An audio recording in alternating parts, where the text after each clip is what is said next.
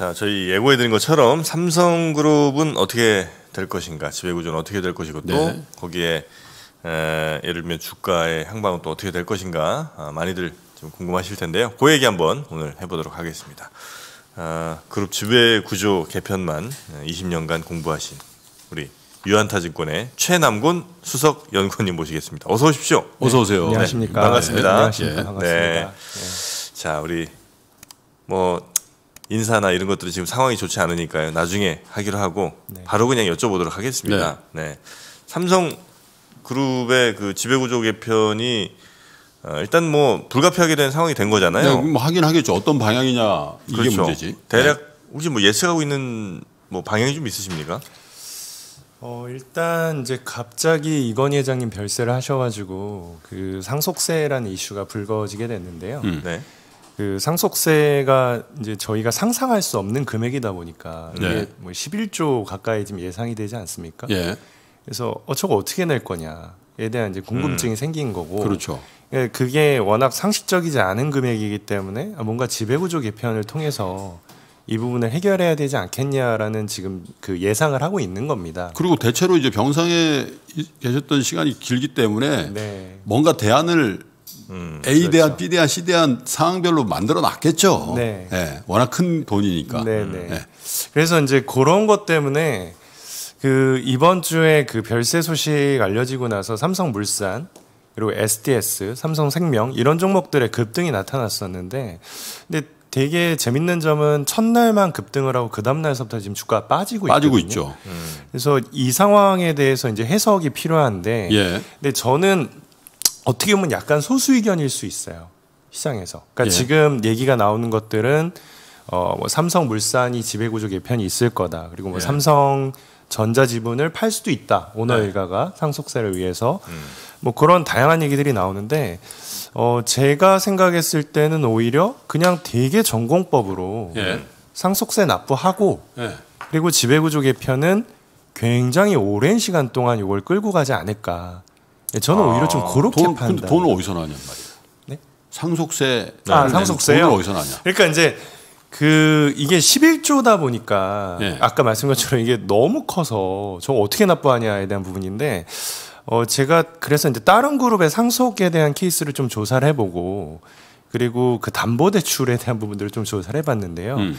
어 예를 들어서 LG나 SK나 한화 같은 그룹들의 어 대주주 담보 비율을 보면 50%가 넘어요. 음, 담보 대출을. 받는다. 주- 네네, 네, 자기 네. 지분을 맡기고. 네, 맞습니다. 예. 근데 어, 삼성은 독특한 게 담보 대출이 없어요. 제로죠. 제로입니다. 예. 그러니까 지금 오너일가가 갖고 있는 주식 가, 가치가 30조가 좀 넘어가는데 예. 대출이 아예 없어요. 음. 그러니까 이 완전 재무적인 측면이 다른 게 있고 네. 그다음에 그 저는 이렇게 생각을 해요. 만약에 이건희 회장님이 2014년에 돌아가셨다면 예. 어 뭔가 했어야 됐을 것 같아요. 음. 근데 그때랑 지금하고 다른 거는 금리예요. 첫 번째는. 네. 그러니까 담보대출 금리가 음. 예를 들면 한화 그룹의 김승현 회장님이 최근에 받았었던 게 1.75%를 받았거든요. 아, 담보를 예, 맡겼으니까 예, 주식 더 담보를 받아서. 아, 금리를 1.75%로 받으셨다. 예, 받았다고요? 예, 그게 공시상에 나와 있습니다. 실제로. 음. 아, 물론 그 한진칼의 대주주는 한 2.7% 정도 공시가 나와 있더라고요. 그러니까 아. 이것도 그룹에 따라 좀 그것도 다른가 쭉 봐요. 한번 저기 나름을 세워보면 그, 그 주식이나 그 그룹의 신용도 하고도 관련이 있겠네. 어느 정도 좀 연관이. 근데 물론 그리고 그게 삼성은 훨씬 더쌀 거 아니에요? 제 생각에는 줄 설 것 같아요. 거기에 뭐 금융회사들이? 예, 1%뭐 초반이라고 해도 네. 그냥 줄 설 것 같고 사실 뭐 그거 빌린다고 하면 다른 거에 대한 알파가 있을 테니까 음. 뭐 저런 부분들은 충분히 해소가 될 수 있지 걸 않을까. 싶어요. 다른 다른 거래도 해주고 뭐 그럼요. 것들. 그리고 이제 두 번째는 그 2014년에 비해서 오너일가가 가져가는 배당의 사이즈가 워낙 커졌다는 거고요. 음. 그래서 작년 기준으로 오너일가가 가져갔던 총 배당 금액이 7천억 원이 넘어요.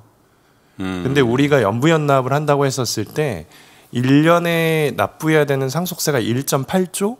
그 몇 년까지 해주는 거죠? 5년 동안 5년. 예, 5년인데 그러면 우리가 그 나머지 그 차이가 있는 물론 내년에 배당 올릴 것 같은데요. 저희 제 생각으로 그래서 삼성그룹의 투자 포인트는 지금 지배 구조가 아니라 배당이라고 생각을 아, 하는데 배당이 늘어나는 거에 대한 투자. 그렇죠. 예. 그래서 만약에 여기에 삼성전자가 그 내년에 또 배당 계획을 발표를 하잖아요. 예. 3개년 계획이 아마 나올 것 같은데 어, 배당 한50% 늘리겠다 지금보다 그럴 수 있는 재무적인 상황이고요. 뭐 네. 그 렇다라고 가정을 했었을 때 1조까지 가져갈 수가 있어요 배당을 음. 오너 일가가 음. 그러면 어, 전체 상속세 납부하는 것 중에서 거의 60% 가까이 커버 가능하니까 나머지는 차입으로 대응을 하고 그리고 나서 한 10년 이내로 그걸 다 갚을 수 있다는 거거든요. 그 배당금만 계산하면 안 되잖아요. 배당에 대해서 또 배당 소득세도 내야 되니까. 그렇죠. 예, 그래서 배당 소득세까지 감안했었을 때 네. 만약에 여기서 배당이 50% 올라간다고 하면 50% 정도 커버가 되더라고요. 예. 그래서 제가 그거를 연으로 환산을 해봤더니 어, 대략 14년 정도의 기간이면 이거는 전부 다 갚을 수 있다. 아. 예, 그렇게 지금 계산이 일단 대출 상황. 땡겨 놓고 네. 대출 땡겨 놓고 어 5년 동안 연부 연납 한다는 가정하에서 배당에서 배당 소득세 제하고 네, 그 이자 비용도 감안하신 건가요? 그렇죠. 땡긴 거예요? 네. 근데 당연히 하셨겠지. 이게 그 한 번에 내는 게 아니라 네. 말씀드린 것처럼 이게 5년 연부 연납이기 때문에 네. 그냥 1년 차에 배당 제외하고 남는 부분 네. 뭐 그래서 예를 들면 한 1조 원 정도 빌리겠죠. 그러니까 처음서부터 11조를 다 빌려서 그러- 납부를 하는. 게 아니라 네. 그런 식이기 때문에 이자 비용이 그렇게 크지 않다는 거고 그리고 네. 한번 생각해 보십시오. 아까 제가 이자율이 뭐 1%대일 거라고 말씀을 드렸는데 10조 원을 빌리면 1년에 내는 이자 금액이 천억 대입니다. 천억대. 이게 그렇게 크지가 않은 거예요. 삼성그룹의 입장에서 보면 1조 빌리면 100억 내는 거네요. 맞습니다. 그리고 어, 저는 또 이렇게 생각을 해요. 그 지금 그 이미 대출이 없었던 게 주식담보 기준으로 네네. 되게 오래 전서부터 그랬었거든요. 그러면 그동안 이미 그 이건 회장님이 그렇게 쓰러지고 나서 이런 부분들에 대한 고민을 했었을 텐데 그 사이에 받았던 배당들은 지금 다 어디가 있을까? 분명히 이게 쌓여져 있을 거거든요. 네. 그러니까 그런 부분들이 아마도 그 차입을 일으키지 않아도 될 수 있는 재원으로 활용될 수 있을 것 같고요. 뭐 그거 외에도 과거 한 2014년 과거 제일모직 상장됐었을 때 그 기사들을 좀 찾아보면 이건희 회장님께서 갖고 있는 용인의 부동산 음. 예, 그게 170만 평이 있습니다. 네. 근데 그거를 만약에 한 평당 200만 원에 매도를 한다라고 가정을 하면 음. 거기에서도 한 3조 이상 땡길 수가 있어요. 하여튼 뭐 세금은 뭐 상속세는 뭐 큰 문제는 그러면 아닌 이제 것 같고요. 주가는 투자라는 측면에서 네. 보면은 막 이게 뭐 저기 이 계, 계열사 지분 매각이라든지 이런 것들이 일어날 가능성은 없으니까 네. 그냥 그 이재용 부회장 혹은 그 일가가 받을 수 있는 배당금이 늘어날 회사에 대한 투자 요 정도가 가능성이 있는 투자라고 보시는 거네요. 네, 저는 그래서 그 사실 그 지난 8월 달에 어 저희 유한타증권에서 아무따 삼성입니다라는 자료를 발간을 했었어요. 이제 그 당시에 아마 제가 기억하고 있기로는 삼프로 TV의 박용진 위원께서 네. 나오셔서 삼성생명법. 예, 말씀하셨잖아요. 근데 이제 그 즈음에 저희가 그 자료를 발표해서 기억하실지 모르겠지만 8월 달에 삼성물산과 생명 주가가 급등락을 그 하게 그 예. 저희가 이제 그 트리거를 좀 만들어 드리긴 했었는데 아 묻지도 말고 따지지도 말고 맞습니다. 삼성 사라. 네, 네, 맞습니다. 그래서 이제 그게 약간 유행어가 되기도 했었는데요. 음. 근데 그 당시에 저희가 주장했었던 논리의 핵심은 보험업법 개정안이라는 게 굉장히 중요한 트리거가 될 수 있기 때문에 이게 네. 삼성그룹의 지배구조 개편을 끌고 올 거다라고 생각을 했었고요. 네. 어, 결국 중요한 거는 삼성생명이 보유하고 있는 삼성전자 주식을 어, 삼성물산이 인수하게 될 수밖에 없다라고 당시에 가정을 했었습니다. 네. 그래서 지배구조 개편 그리고 삼성물산 중심으로 지주회사로 전환한다 라는 전망을 했었는데 어 요번에 이제 갑작스럽게 별세를 하시면서 저희는 이번 주 월요일 날 업데이트 자료를 발간하면서 어그 의견을 바꿨어요. 어떻게? 그 삼성물산의 지주사 전환 가능성이 굉장히 낮아졌다 라고 음. 판단을 했고요. 이제 그렇게 어, 배경을 바꾼 거는 어, 저는 이제 보험업법 개정안이 통과가 좀 어렵지 않을까라고 생각을 했어요. 왜요? 이번 그 별세하고 별세 그 때문에 별세하고 그게 무슨 상관이 예, 그게 사실 뭐 직접적인 연관이 있는 건 아닌데요. 결국 어, 지금 국회에서 법을 통과시키는 데 있어서 저는 그런 생각을 하거든요. 이, 이게 아무리 그 의미가 있고 어, 정말 뭐 철학적으로 맞는다고 하더라도 어쨌든 간에 어느 정도의 민의는 고려할 필요가 있다라고 생각을 하는데 음. 지금 국회에 올라와 있는 경제민주화법 두 가지 하나는 공정경제 3법이라는 게 있고 네. 또 하나는 이, 이 보모법 개정안도 이제 그 맥락으로 봐야 이른바 되잖아요. 삼성생명법이라고 불리는. 맞습니다. 근데 공정경제 3법은 분명히 이거는 통과가 되고 추진이 될 거라고 보는데 음. 이 보모법은 아무래도 삼성생명에게 좀 한정이 된 내용이다 보니까 네. 그 이거를 굳이 상속세에 대한 이슈까지 굉장히 크게 불거진 상황에서 어. 지금 이걸 단기에 추진을 하는 게 맞느냐 음. 그거는 전 여론 측면에서도 그렇게 썩 큰 동의를 받을 거라고 생각하진 않거든요. 음. 그 법에 대한 취지는 공감하면서도 네. 그래서 그거를 어, 올해 하반기에 만약에 통과를 시키지 않는다면 예. 그게 만약에 내년이라도 밀린다면 문제는 그 공정경제 3법에서 논의가 되는 공정거래법 상에 지금 지주회사 요건 강화에 대한 부분들이 있기 때문에 예. 그냥 구체적으로 말씀드리면 자회사 지분을 30%까지 가져가야 돼요. 예. 지금까지는 20%였었잖아요. 예. 그 얘기는 지주회사가 되려면 네 맞습니다. 네. 그 얘기는 삼성물산이 내년도에 지주회사가 되면 삼성전자 주식을 30% 가져가야 된다는 얘기. 음. 음, 가져갈 수 있겠습니까? 못 가져가죠. 못 가져가요. 네. 그 돈이 없어요. 그 정도 돈. 그러니까 지금도 제가 아무따 자료 쓰고 나서 가장 욕을 많이 먹었던 지점이 그 삼성전자 지분 20조 살려면 네. 삼성 바이오로직스 팔아야 되거든요. 근데 그거 어떻게 파냐는 거죠. 그게 제일 아킬레스 건이었는데 음, 그거 말고 또 어떻게 20조를 가져오냐는 얘기인 거예요. 네. 그래서 이제 아 이건 진짜 어렵겠다라는 얘기인 거고 그래서 저는 이 지배구조 개편이 굉장히 오랜 시간에 걸쳐서 천천히 진행을 할 거고 그리고 마침 보험업법 개정이 된다고 하더라도 유예 기간을 7년 준다고 하잖아요. 네. 네. 그러니까 그 7년이라는 기간 동안 준비를 한다. 음. 어쨌든 6.8% 지분이 네. 넘어와야 되는데 그 지분은 어 삼성 삼성그룹에 소화를 해야 되는 거고 음, 이제 그 당시에 누가 재원이 있고 누가 지주사로 전환할 수 있는가에 네. 대한 시나리오에 따라서 바뀔 거라 보고 있는데요. 어 제가 지금 개인적으로 생각하는 시나리오는 삼성전자가 가져올 거다라고 음, 판단하는데 그거는 지금 상법상으로는 불가능하긴 합니다만은 방법이 있어요. 삼성전자가 쪼개지면 됩니다. 그러니까 투자와 전- 사업회사로 쪼개져서 전자가 쪼개진다고요? 예, 분할. 예. 분할. 예 분할하면 돼요. 뭐예요? 그 인적 분할. 예, 인적 분할. 인적 분할이죠? 예, 인적 분할 분할 아니죠? 아닙니다. 인적 분할입니다.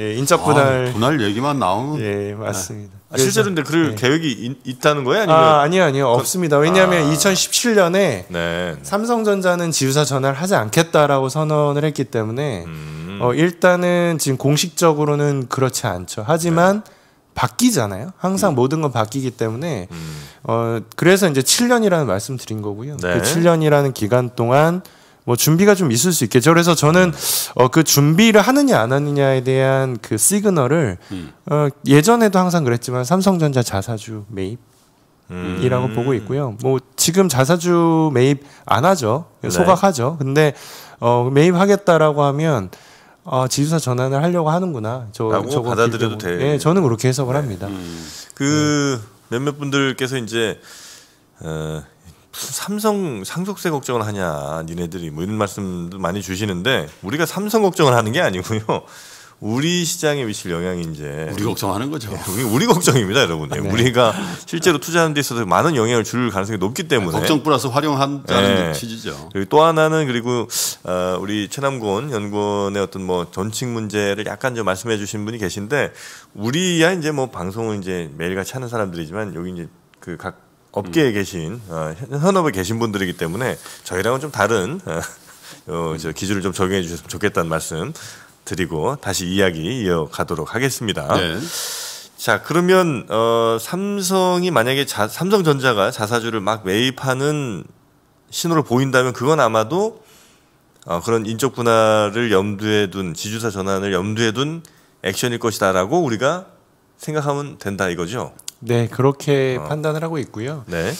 그 이런 생각을 해봐요. 지금 그 이재용 부회장이 어쨌든 가장 중요한 건 사법적 리스크를 음. 어떻게 해소할 수 있느냐에 대한 부분이라고 판단을 하고 있고요. 음. 그런 부분들이 아무래도 올해 말까지 있을 재판이 하나가 있고 네. 그리고 또 앞으로 내년도에 시작이 될 재판이 있기 때문에 음. 그런 부분들에 대한 리스크가 어느 정도 해소가 될 때까지는 네. 어 저는 좀 전공법으로 나갈 수밖에 없다. 그래서 음. 이제 좀 시간이 걸릴 거다라는 것도 이제 그런 측면에서 해석을 했고 음. 그래서 이거를 이제 그 투자 포인트로 연결을 한다면 그래서 우리는 삼성전자를 사야 될 거라고 판단을 하는 겁니다. 아, 그래서 왜 앞서- 그거 좀 설명이 필요할 예, 것 그래서 같아요. 앞서 말씀드린 것처럼 결국은 이제 상속세라는 부분은 어, 앞으로 두 달. 그 이제 별세를 하신 시점서부터 두 달까지는 그게 산정이 되기 때문에 네.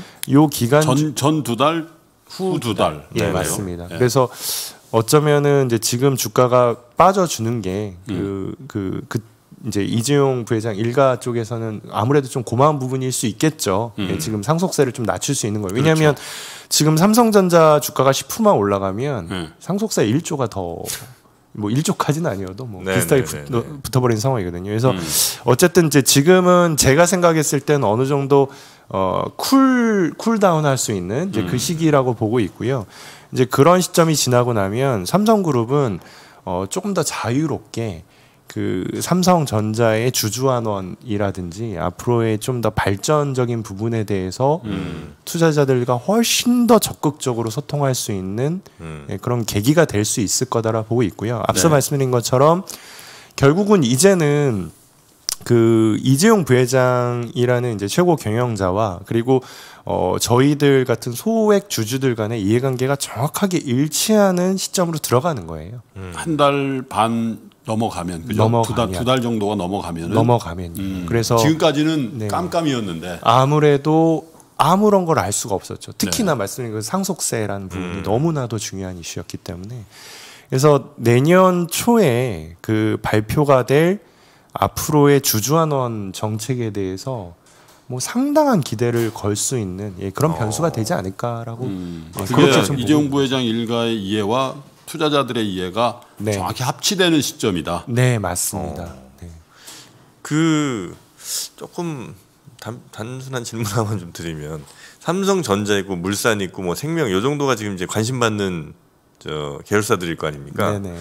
그 중에 이제 요 한두 달의 시기가 지나가고 나서 더 각광받을 혹은 조금 더 좀 상승의 여력이 높을 쪽은 어느 쪽이라고 혹시 판단하십니까? 예, 저는 순서대로 정확하게 짚어드리면 네. 예, 전자, 생명, 네. 그다음에 물산, SDS가 거의 비슷한 급 그 순서라고 판단을 하고 아니 있습니다. 그 다, 다른 얘기던데 처음에 물산이라고 얘기했잖아요. 네, 그러니까 이제 아, 순서가 다른데? 예, 그래서 아까 제가 이, 그 8월달에 아무따에서 말씀드렸던 네네. 말씀은 그 아무래도 물산은 그 지배구조 개편과 관련된 음. 그 지주회사라는 이제 그런 띠이 붙어줄 때 네. 이제 이 회사가 받고 있는 저평가될 수 있는 부분들이 해소가 될 수 있는 건데 네. 근데 이제 그거는 이런 어떤 법 개정에 대한 이슈라든지 이게 너무 변수가 복잡해져서 음. 아무래도 그 후순위로 밀릴 것 같다라고 이제 저는 판단을 한 거고요. 물산이요? 네, 물산이 어. 아무래도 이제 그렇게 봤고 네. 그래서 여기는 이제 물산을 보는 관점은 저는 이렇게 생각을 해요. 그 지배 구조라는 관점으로 이 회사를 바라보기보다는 이제는 진짜 물산이 어떻게 회사를 변신시킬 것인가 음. 예, 그런 어떤 본질적인 부분으로 보셔야 되는 게 아닌가 싶고요. 음, 사실 지난 한 3, 4년에 걸쳐서 그 이재용 부회장이 어쨌든 간에 재판이라는 과정, 아까 말씀드린 그 사법적 리스크에 노출이 되어 있었던 상황이었기 네. 때문에 이 투자자들하고 소통을 하면서 물산이라는 회사에 대한 답답함이라고 해야 될까요? 그러니까 음. 만나보면 네. 어, 뭔가 미래 지향적인 얘기들이 잘 안 나왔어요. 아, 그렇지. 이게 너무 뜨거운 감자잖아. 예. 물산이. 네. 물산 물산을 제일 제일 먼저 합병하는 과정에서 생긴 걸로 재판을 받고 있는 거니까. 네네. 음. 이거 건드리기도 싫은 거지. 그런 그런 거죠. 네, 맞습니다.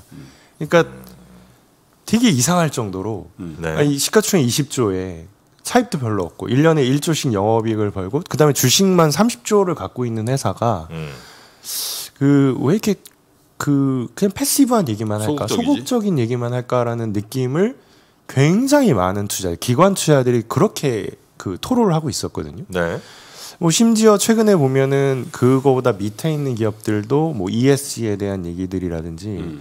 뭐 탈석탄, 친환경, 그린 이런 새로운 비전들 얘기를 하고 있는데 그러니까 물산은 그런 맥락에서는 좀 많이 미흡했었던 게 사실이에요. 탈석탄 그저께 나왔죠. 네네. 그 이제 그게 지금 그게 나오잖아요. 이제. 나오죠. 네. 네, 그래서 제가 생각했을 때 이제 물산을 보는 관점을 자꾸 지배구조, 지주회사 쪽으로 포커스를 해서 보면 제 생각에는 안 할 것 같은데 이거 못 할 것 같고 또 이것 때문에 재판받은 이재용 부회장께서도 그냥 제가 만약에 그분으로 빙의가 된다고 하면 그냥 진절머리가 날 것 같거든요. 이거 가지고 뭐 합병을 또 한다라고 하면 합병 비율 어떻게 할 거며 그 복잡성을 어떻게 견디겠습니까? 음. 그렇지. 그런 건 아닌 것 같아요. 그건 아니고 이제는 그 물산이 발전적인 방향으로 나가는 비전을 보여줘야 되는 거고 네. 그거는 오롯이 물산의 몫인 거예요. 음. 근데 아직까지는 그게 미흡했던 게 사실이기 때문에 그 제가 말씀드린 것처럼 어 이렇게 됐었을 때 전공법으로 간다고 하면 음.